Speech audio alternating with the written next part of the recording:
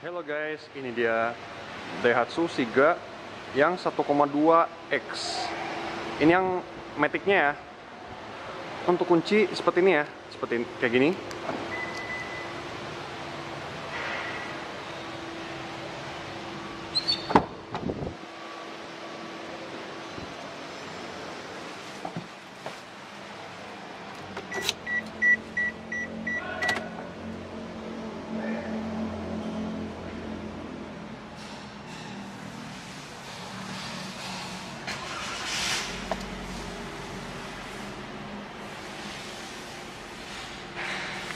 Yuk kita lihat bagian ekstra dulu.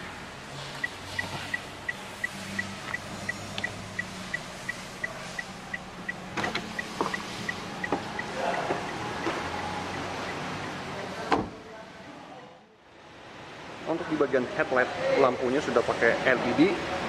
Cuma untuk lampu kecil masih halogen. Ini lampu sen, halogen juga. Belum ada fog lamp untuk grillnya seperti ini ya. Ini bahannya hitam doff yang di bagian bawahnya.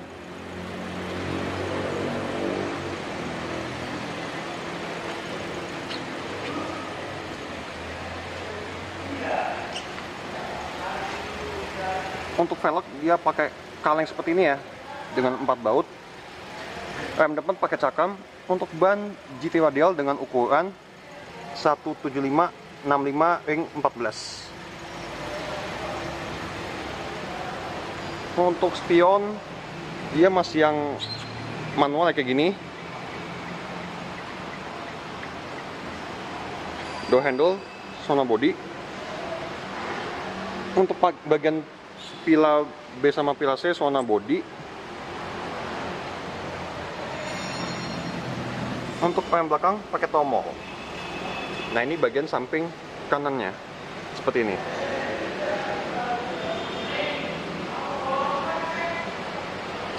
antena shortfall nah ini bagian belakangnya. Ini ada wiper belakang. Ada emblem Asta Daihatsu yang ini tipenya ya. Sudah ada sensor pakai belakang dua titik. Ada lampu plat nomor knalpot di sebelah kanan. Untuk ban cadangan full size dengan velg kaleng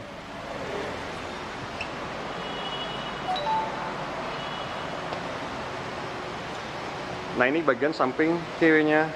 Yuk ke bagian mesin. Untuk close cup mesin di sebelah sini.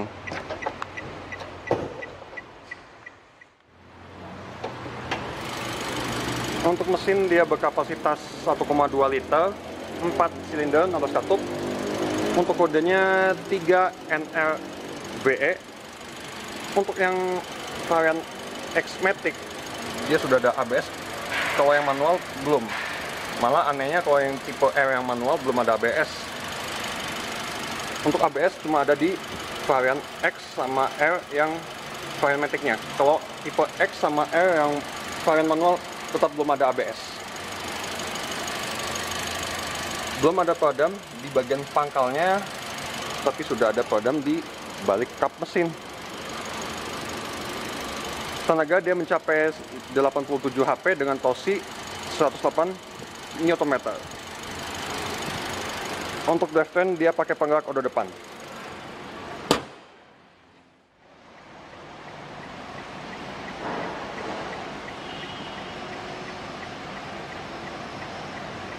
Yuk ke bagian interior.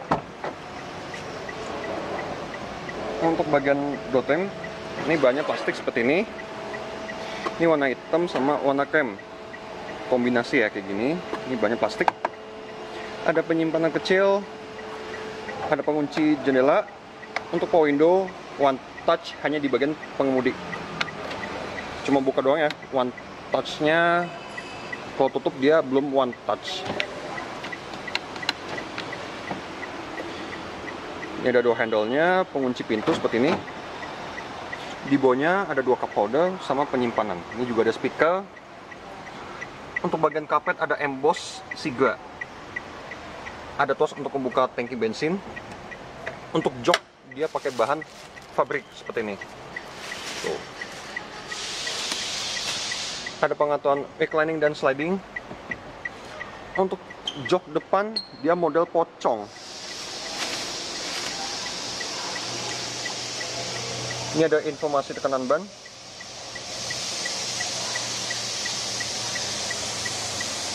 Tuh, seperti ini ya.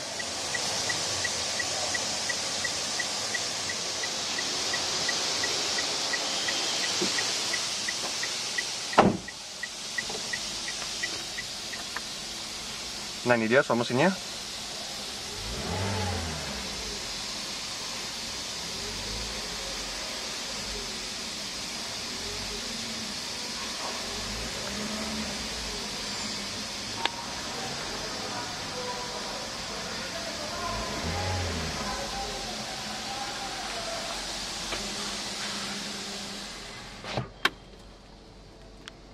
nggak ada hand grip untuk yang di bagian pengemudi. Untuk set Versa kanan ini polos. Tuh. ada lampu kabin depan. Spion tengah standar. Untuk set Versa kiri dia juga polos. Ini ada hand grip. Untuk yang di bagian penumpang depan pengaturan seatbelt masih yang fix ada laci penyimpanan kayak gini. Untuk airbag ada dua. Nah ini dia bentuk dashboardnya. Untuk head unit dia belum touchscreen tapi sudah double din seperti ini. Ini ada input CD USB dan juga ada ini ya Bluetooth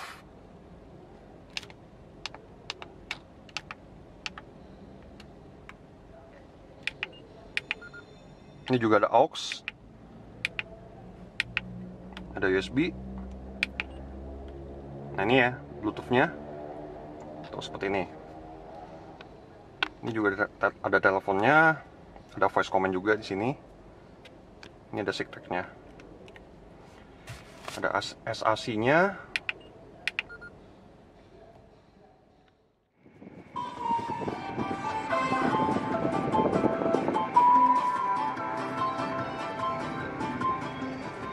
Ini di bawahnya ada tombol hazard.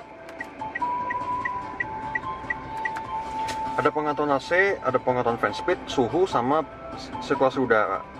Di atasnya ada tempat tempat untuk kartu. Transmisi 4 speed otomatis.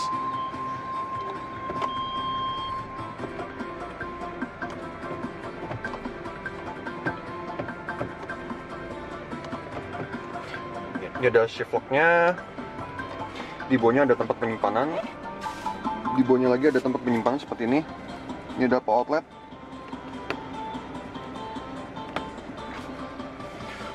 Untuk handbag seperti ini ya bentuknya. Kayak tuas transmisi matic.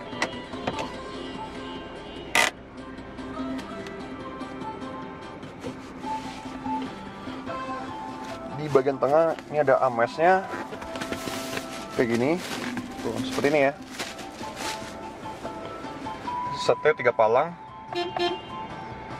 Belum ada tel ataupun teleskopik. Ini ada mikrofonnya. Ada pengaturan wiper sama pengaturan 60 sen. Sudah one touch dan signal seperti ini. Di sebelah kanan ada MID nya ini ada pengaturan jam, menit, sama auto seperti ini ya, tip A, tip B. Konsumsi rata-rata. Sisa jarak tempuh eco on. Sama odometer.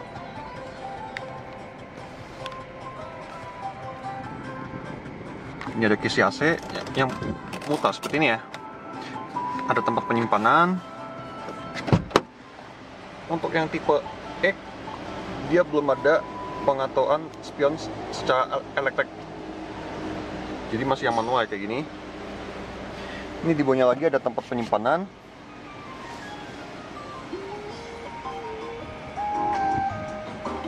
Yuk ke bagian belakang.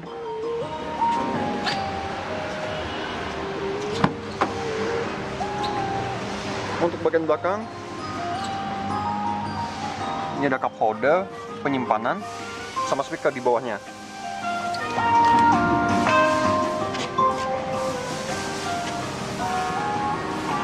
Untuk jok baris kedua dia metode pelipatannya sebelah kirinya 40 sebelah kanannya 60 ini one touch tambal seperti ini ya.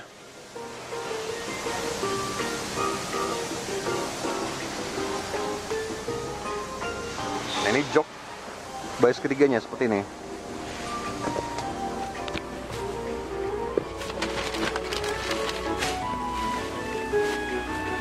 jok baris ketiga dia gak ada headersnya seperti yang ada di tipe tipe R kalau yang tipe R kan ada headersnya kalau tipe di bawahnya nggak ada.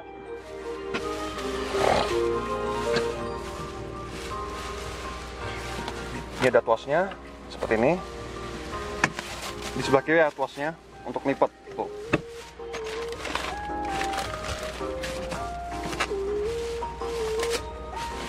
ada cup holder sama penyimpanan? Ini nggak ada hand grip untuk bagian baris ketiga. Untuk ruang kaki tergantung posisi jok baris kedua. Ini karena bisa sliding. Untuk ruang kepala ini masih oke. Okay. masih agak lega sedikit. Ini ada cup holder sama tempat penyimpanan ada lampu kabin untuk bagian belakang. Yuk ke bagian baris kedua.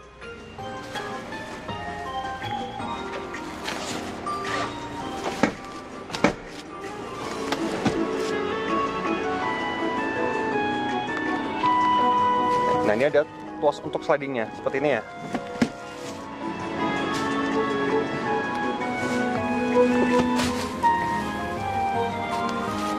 Bagian tengah dia gak ada armrest ini ada headrestnya seperti ini. Ada hand grip. Ini ada blower seperti ini. Blower untuk bagian belakang. Ini tuh anginnya disambungin dari bagian depan. Jadi ini bukan AC beneran ya. Ini ada pengetahuan fan speednya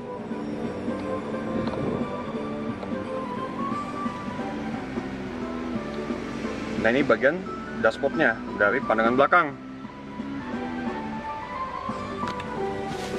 Ada penyimpanan pocket di kedua sisi. Untuk ruang kaki tergantung posisi jok depan sama jok baris kedua. Ini di bawahnya ada power outlet. Untuk ruang kepala ini masih oke, masih lega. Kalau diubahin seperti ini lega banget ya. Ini ada hand gripnya yuk ke bagian bagasi.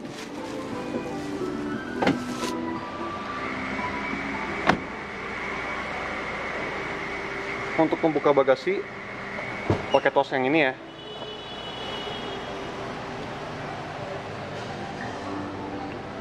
Untuk melipat jok tos yang sebelah kiri. Seperti ini ya. Lalu diangkat. Kayak gini. Ini ada tosnya di bawahnya. Tuh seperti ini.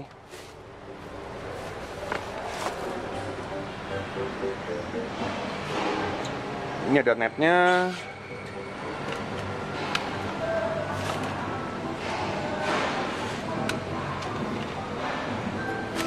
ini ada pembungkus velgnya seperti ini ya. Untuk membungkus velg kaleng.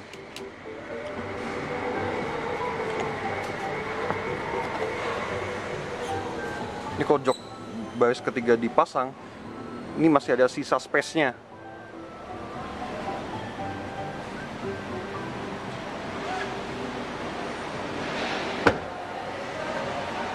untuk tangki bensin di sebelah sini di sebelah kiri ya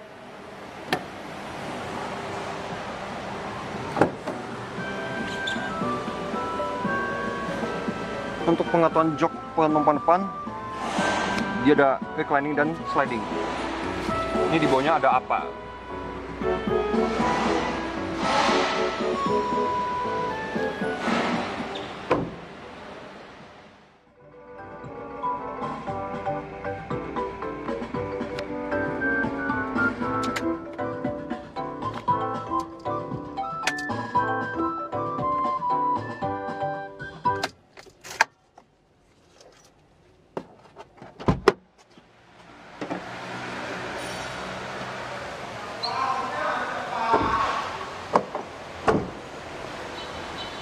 Oke, sekian dulu reviewnya tentang Daihatsu Siga tipe X Matic.